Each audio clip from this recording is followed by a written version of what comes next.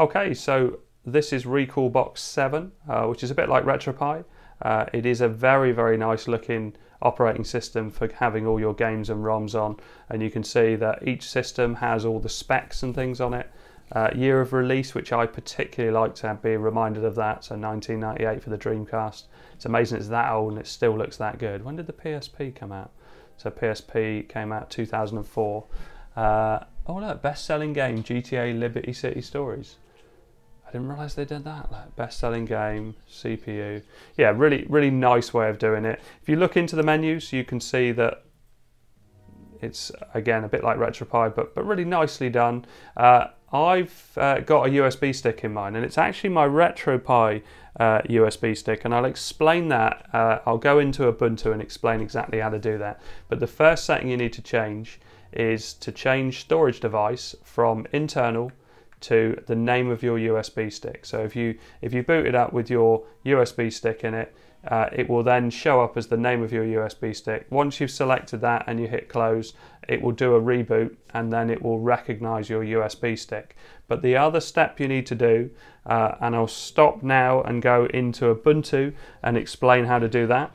Okay, so this is uh, Ubuntu and I've plugged in my 128 gig USB stick. And this is actually a RetroPie USB stick, and that's why it's got a folder called RetroPie-mount. Now, all I did, uh, if you put your USB stick into Recalbox, what it will do is it will create this folder and it will put content in there. Now, there's a couple of things you could do. You could either copy content straight from this, uh, so you can navigate to your ROMs, uh, and then you could pick something, say N64, pick a ROM, and then copy it and then put it back into or put it into your Recalbox in the ROMs folder. Uh, but all I did uh, was just rename this to Recalbox. Uh, and so if I click on this and rename, I want to keep the Recalbox folder there because I want to be able to play around it and find out what goes on. Just call it one Recalbox, so it's going to be ignored by Recalbox. Uh, and then this folder, I renamed it to Recalbox. So now when Recalbox boots up, it's going to look in all the folders and most of the folders seem to be the same. Does BIOS come up the same? Yeah, so BIOS is in lowercase on Recalbox and I don't know if that's why some of these BIOS files aren't aren't working because if I go into this one, which was the old RetroPie one, and I go into BIOS, which is in caps, you can see that Dreamcast has got a load of BIOS files in it and they probably are the ones that it was looking for but it works for some systems. As I say, the proper way to do it would be to let it create that folder and then put the required files into those folders. And then with the thing I showed you to change on the system to recognize the USB drive, that will then automatically populate it with all the bits that you need.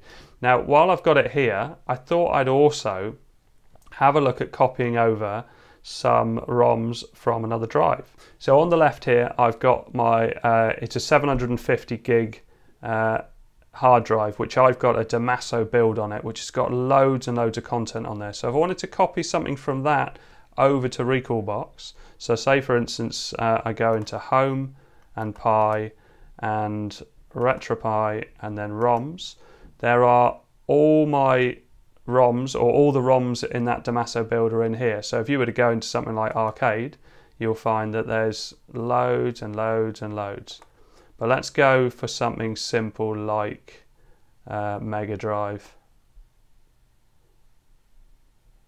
So Mega Drive, and let's just pick, there you go, three ninjas. Copy that. Then we need to go into this newly created Recalbox folder and ROMs and look for, is it called Mega Drive or is it called Genesis on this? Looks like it's also called Mega Drive. Yeah, there it is. So I can go in there. You can see I've got some games in there already. Right click and paste that in.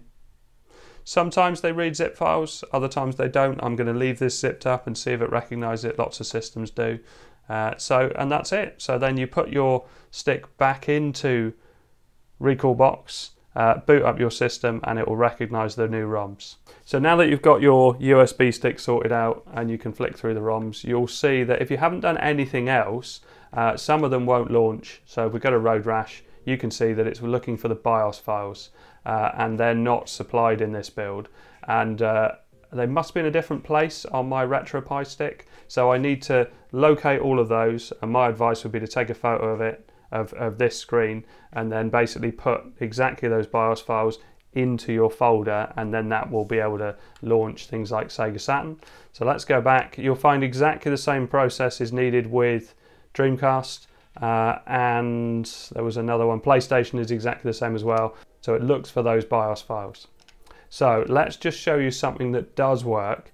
Uh, and the one I wanted to show you is PSP which is excellent, and uh, Grand Theft Auto Vice City Stories, which is a really good game. Uh, so wasn't as good selling as Liberty City Stories, but uh, but it is a really really good game, and all the menus are nice and snappy. Uh, I haven't had to configure the controller at all. I'm using a wired Xbox 360 controller. I'm not overclocked. All I've done is put my USB stick in and renamed that folder and uh, so it's all up and running. But the only thing I need is to sort out the BIOS files, but I'll, I'll cover that in another video probably. Right, so let's get out of this bit. Where's the gate? Let's do a little stoppy before the gate. That's nice. So you can see it's lovely and smooth, it's working fine. Uh, it feels really responsive, just as it should really, and it is just an awesome game. Uh, really works well. The only thing I found is I don't know how to quit out of this. Uh, and so the only way I found of quitting out of this is to press Control Alt Delete. So uh, if someone could leave a comment if they've worked out how to quit out of PPSSPP in this build.